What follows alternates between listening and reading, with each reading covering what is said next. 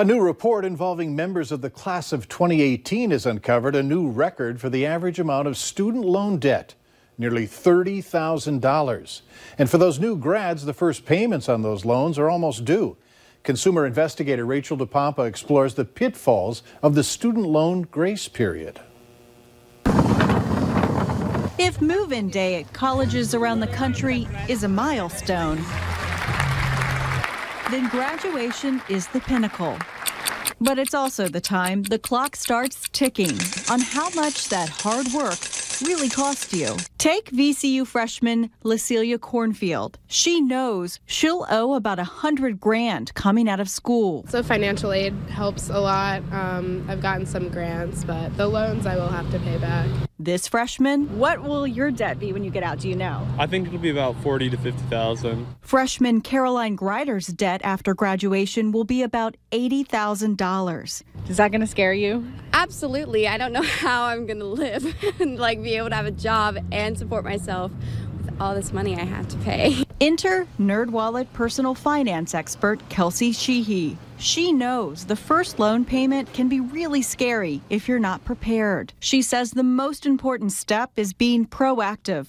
Learn your loan before that grace period ends, look up who your student loan servicer is, what your total balance is, what that first payment is going to be, and what your payment options are. That's a lot of information. Thankfully, it's mostly all in one place. Here, you can log into the National Student Loan Data System.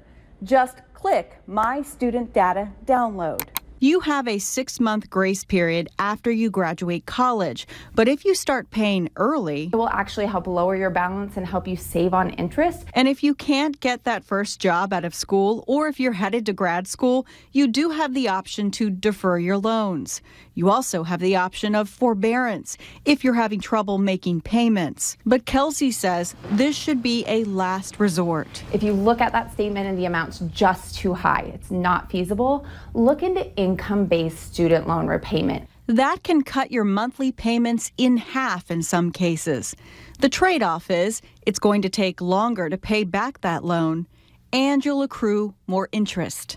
It can feel really complicated and really overwhelming, especially when you're staring down a big total student loan balance. Which is why a lot of people turn to companies for help with their debt. But this is where you need to be really careful. There are hundreds of companies out there that are preying on struggling, overwhelmed student loan borrowers. They're going to offer to lower your student loan payments, you know, lower your interest rate, um, promise you loan forgiveness. There's nothing wrong with paying for help. It's kind of like paying someone to do your taxes. But these are also all things you can do for free yourself. Rachel DePompa, Valley News Live. Some banks are getting creative with ways to help students who have student loan debt. For example, Gate City Bank offers a program for people who have student loan debt but still want to purchase a house. The Better Life Student Loan Program offers a fixed, lower interest rate home loan for 10 years, the duration of some student loans.